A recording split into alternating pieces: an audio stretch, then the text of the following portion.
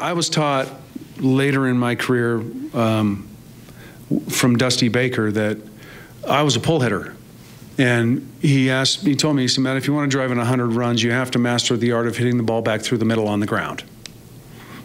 and if you notice Wilson, you notice guys like Zim, uh, Jason, the, the guys that really produce runs, a lot of their base hits with guys on second base are back through the middle on the ground. That promotes a lot of things. Uh, the ability to drive that run in, but it also promotes staying on the baseball and, and getting that hanging curve that you can pull for the extra base hit or over the fence as well.